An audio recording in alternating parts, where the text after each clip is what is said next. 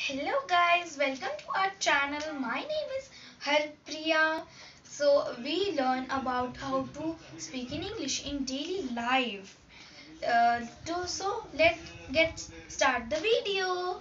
Number one, मज़ाक बंद करो इसका इंग्लिश होगा स्टॉप किडिंग नंबर टू सब ठीक है इसका इंग्लिश होगा everything is fine number three मुझे नहीं पता इसका इंग्लिश होगा I did I don't know number four I मैं मुझे नहीं समझा।